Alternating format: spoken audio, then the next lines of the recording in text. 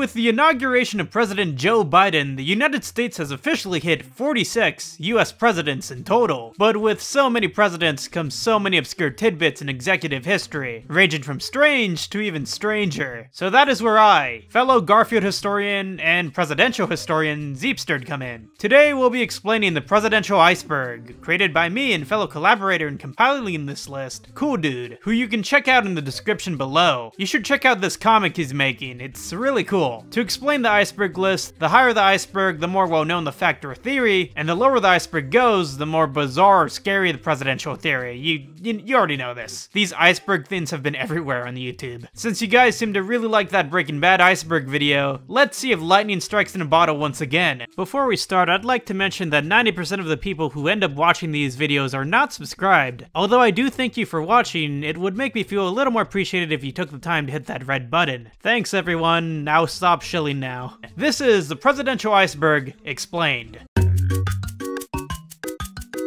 President Taft stuck in a bathtub. I'm pretty sure we all know about this one. Essentially, the story goes as follows. The 350 pound president, while bathing one day, found himself not able to leave the bathtub due to his sheer weight. However, in reality, there is no evidence of this. Sorry to burst your Taft-loving bubble, guys. In fact, by that time, the White House had gotten a tub that was so big a president could never get stuck in it. How disappointing. President for 30 days. The ninth president of the United States had the shortest run out of any other president. William Henry Harrison, in order to prove that he was still the strongman hero from his altercations with Native Americans back in his battles at Tippecanoe, conducted the longest inauguration speech in American history, which took him nearly two hours to read. Inauguration day was cold and wet, and Harrison's presidency went out quick. On April 4th, 1841, Harrison died. Be sure to always wear a coat whenever it gets chilly, everyone. This is a cautionary tale. The Lincoln and JFK coincidences. This one is a strange urban legend. Okay, so the following coincidences are either true or not true. The ones that are true include the fact that both the names Lincoln and Kennedy each have seven letters, that they both lost sons during their time in office, that both of them were shot in the presence of their wives, and that both were elected in a year that ended with 60. Furthermore, both of their assassinators were killed before they could ever be put on trial. Now that's pretty freaky. The Bush Shoe Incident. In 2008, an Iraqi journalist threw both of his shoes at President George W. Bush. I cannot do this video justice in describing it, just watch this.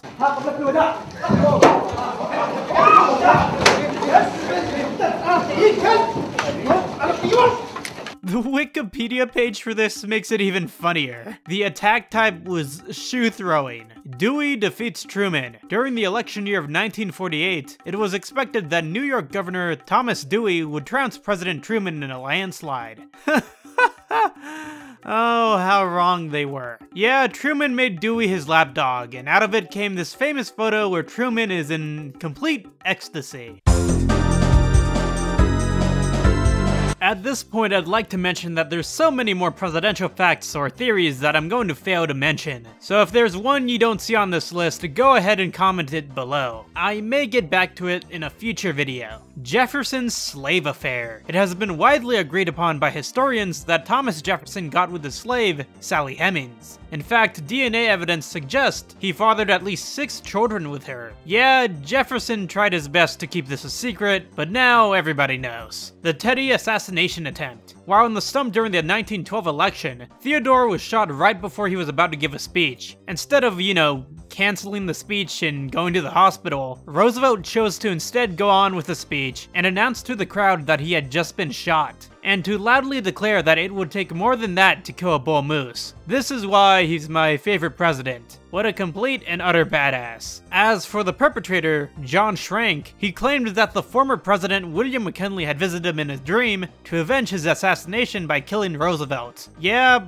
he was found to be legally insane. The time George Herbert Walker Bush threw up on the Japanese Prime Minister. Yep, in January of 1992, while on an oriented trip to Asia and the Pacific, George Bush attended a banquet with the Japanese Prime Minister. A mad case of the flu led to this happening. In Japan, this incident is still recounted. It is now defined as the Bushusuru, which literally means to do the Bush thing. Bill Clinton's saxophone. Bill Clinton is a pretty competent saxophone player. While running for president in 1992, Clinton appeared on the Arsenio Hall show to display his mad saxophone skills. I do agree, Sam, it is very weird to see Bill doing all the blowing. The Nixon and Elvis meeting was definitely a moment of the times. In 1970, Elvis went to go visit Richard Nixon in the White House, emphasizing that he was the perfect person to provide combat in the fight against drugs. There's no transcript of this meeting, so there is much left to the imagination of what the two men discussed. If I had to compare it to something today, it would have to be when Trump invited Kanye to the Oval Office. Truly monumental. Socks the cat was the pet cat of President Bill Clinton. In the fall of 1993, the developing team Real Time Associates was in the process of developing a Super Nintendo game based on the cat. Essentially, Socks the cat follows the title character to warn the Clinton family of a stolen nuclear missile launch device. So basically the goal is to save the country from nuclear annihilation. Presidential skinny dipping. President John Quincy Adams loved to skinny dip in the Potomac River to start off his mornings. The urban legend goes as follows. Female journalist Anne Royall was tired of Adams fleeing interviews from her, so one morning she decided to head down to the river and sit down on his clothes. She refused to give John Adams back his clothes until he finally gave in for an interview. Now that's one way of getting what you want. Bush chokes on a pretzel. While watching football one night, W briefly lost consciousness after choking on a pretzel. My mother always said, when you're eating pretzels, chew before you swallow. Bush toppled over and received a bruise on his face. Ouch. Now that was a pretzel on a mission. Presidential M&Ms. These M&M boxes are packed with red, white, and blue colors given to guests of presidents on board of Air Force One. They were the replacement of presidential cigarettes, established by JFK the Gerald Ford assassination attempts. In September of 1975, President Gerald Ford faced a series of assassination attempts by two different women on two separate occasions. One of them wanted to bring attention to the infamous Charles Manson and his message, while the other was a disgruntled woman. The second bullet barely missed Ford only by inches. The second woman's only regret was that the attempt was not successful.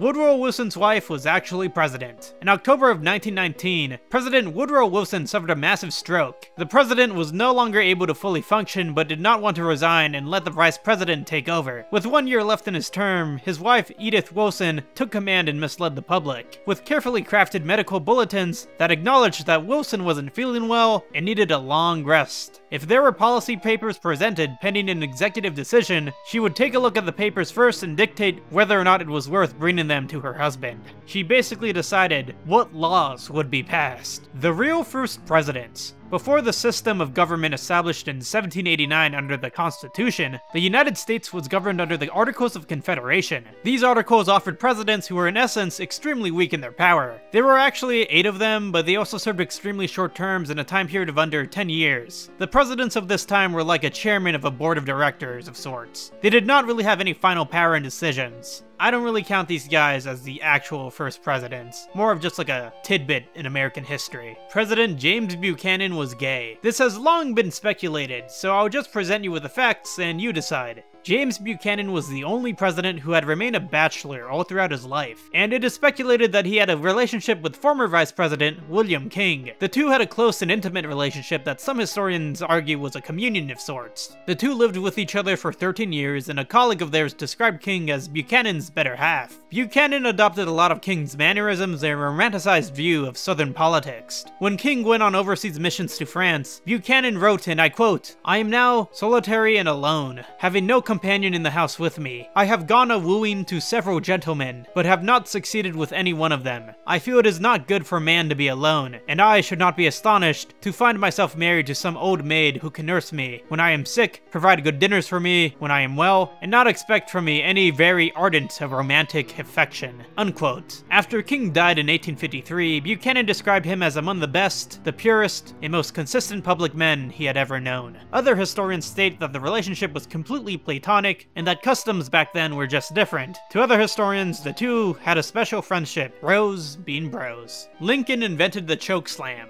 that's right. The move of grabbing an opponent's neck and lifting them by the throat and then slamming them on the ground was made up by the great emancipator himself. Lincoln was a wrestler in his younger days, with over 300 matches. He was only ever defeated once. Yeah, I wouldn't want to find myself in the same ring as this 6'4 beast. The FDR assassination attempt. In 1933, President-elect President-elect Roosevelt had a close call with death. A deranged bricklayer fired a gun at six rounds at an open touring car in Miami, which hit five people. Roosevelt managed to escape without a bullet lodged into him, but the same case couldn't be said to Chicago Mayor Anton Cermak, who died from his wounds. Imagine a world without FDR as president. Now that would be an interesting timeline.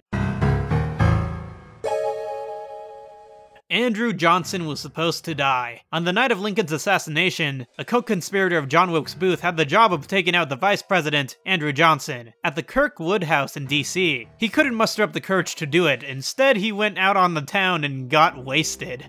What a guy. Presidents who have killed people. There have been presidents who have been personally, at their own hands, not by drone strikes, I'm looking at you Barack Obama, killed people. Of course there are presidents who fought in wars who led to the demise of others, but there have also been other particular cases, such as the case with Andrew Jackson, who was an avid dueler. In fact, he had fought in 103 duels throughout his lifetime. In 1806, he shot and killed Charles Dickinson over a horse racing debt and an insult to his wife. In other cases, such as Grover Cleveland, it was their job to kill. He served as the sheriff of Erie County, New York, and personally hanged two men. The dude had the option to have someone else do it for him, but he chose to carry out the job as he viewed it as his own responsibility. The Skull and Bones Society is a Yale University secret society that harbored Presidents William Taft and both of the President Bushes. Known as Bonesmen, a lot of people who are in elite society were Bonesmen and eventually went on to become major power players on the world stage. Prescott Bush the father of HW, was a Bonesman himself. The legend goes that Prescott Bush and crew stole Apache tribe leader Geronimo's skull from his burial, and the society has been displaying the skull ever since within their tomb. In fact, a historian discovered a letter written in 1918, when the skull was stolen, from one Skull and Bones member to another about the robbery of Geronimo's skull. Skull members have also been suspected of stealing former President Martin Van Buren's skull as well. Other interesting things of note include bizarre rituals, such as revealing one's most twisted fantasies, or even drinking fake blood. Members meet in a sandstone structure called the Tomb. It's also creepy. Since it is a secret society, not much else is known about it. There's only been suspicion of what happens in that tomb. Many have deemed the society as dictating who will become powerful and who will become a nobody. Honestly, the society and its various depictions can be its own video on itself. Roosevelt's most dangerous game. Okay, let me just say that I love Teddy, so I may have some bias on this, but I'll entertain this theory in particular. People know Theodore as a big champion of national parks, but there is a theory that the only reason he protected national parks was for his own enjoyment, so that he could hunt fully to his heart's content. It's no secret that Theodore was a passionate hunter. He loved the game and the careful procedure of it all, but was it possible that the conservationist was only one so that he could have it all? Eh,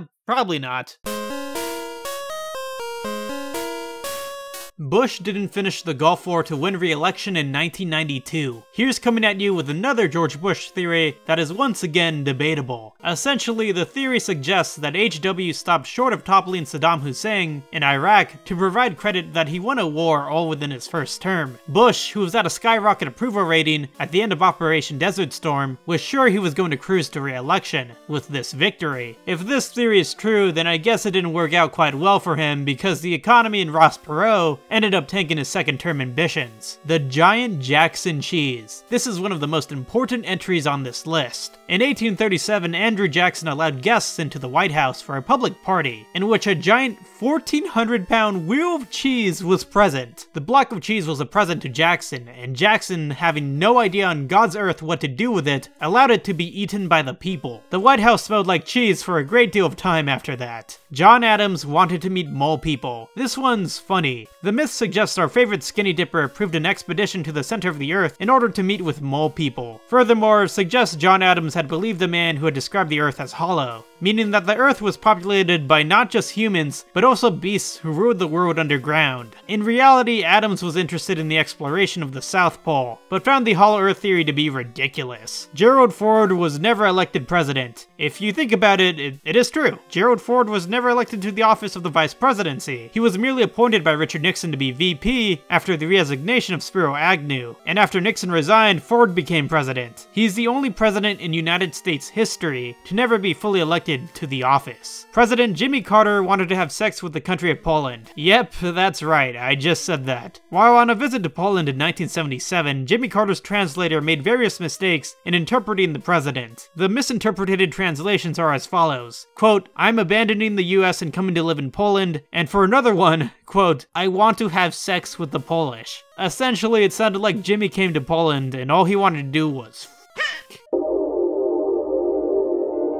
William McKinley's Good Luck Charm. President William McKinley's Good Luck Charm was a red carnation flower, in which he wore in each election cycle, in which under he continued winning election after election. After he won his re-election bid in 1990, he would wear a single carnation in his lapel at all times. In fact, he would gift the carnation lapel to people, but would quickly replace it in order to avoid anything unlikely happening to him. In 1901, President McKinley gifted the lapel to a 12-year-old girl while greeting the public. Minutes later, he was shot twice and died the following week. The candidate who died before the election. Okay, I'm kind of lying with the title here. The loser of the 1872 election, Horace Greeley, did actually in fact live to live the presidential election, but he didn't leave to see the Electoral College cast their votes. This is the only time this has ever happened in the United States history. Since Greeley died before the counting, his electors decided to vote for other people instead, meaning that Greeley went on to retrieve zero electoral votes in total. Sorry they had to do you like that, Greeley, but you were dead and all that. When people think back to the 20 2012 Republican nomination, they distinctly remember Mitt Romney Gangnam styling on stage, despite the fact that this never happened. This has been deemed as another case of the Mandela effect. I don't remember this happening, but I wish to god it was real. The closest we ever got to Mitt Romney actually Gangnam styling was this.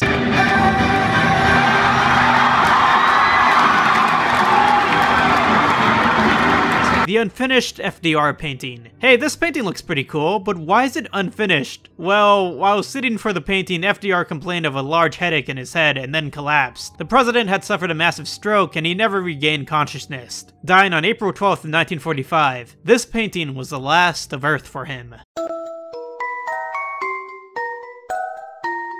Abraham Lincoln's son, Robert Lincoln, witnessed three presidential assassinations. Now, this is another myth. However, Robert's connection to the presidential assassinations is still worth mentioning. For one, he didn't witness his father get shot, but he was by his side when he died. While under the title of Secretary of War in 1881, Robert Lincoln was at the Potomac train station around 40 feet away from President Garfield. While walking towards the president, he witnessed Charles Guiteau approach behind Garfield and get shot twice. 20 years later, Lincoln went to New York to check out the Pan American Exposition, in which President McKinley was at. When he arrived in Buffalo, Lincoln was notified that the president had been shot, and he immediately went to visit McKinley who later died within the week. Allegedly, he was invited to the White House in the later years of his life and said this, if only they knew, they wouldn't want me there. There's a certain fatality about presidential functions whenever I am present. Royal blood. Almost all of the presidents of the United States are descendants of King John of England. That's right, King John, who ruled England way back during the 13th century, is able to boast that his blood is in almost every single president who has ever served except for one, Martin Van Buren. This leads suspicions from people that, oh, this means that this is all a setup and that everything is already predetermined, but if you really look into it, being descended to King John virtually actually means nothing. If you go back far enough into your ancestry, you'll be able to connect to thousands upon thousands of ancestors. In fact, critics believe that at least a third of the United States is related to King John. If you go back hundreds of years, your linkage to ancestors is amplified by astronomical numbers. The business plot. President FDR's New Deal shook Wall Street, so much so that supposedly a group of bankers had developed a plan to overthrow the president, including Prescott Bush. The idea was to install a dictator dictator following the downfall of Roosevelt and turned the country into a regime.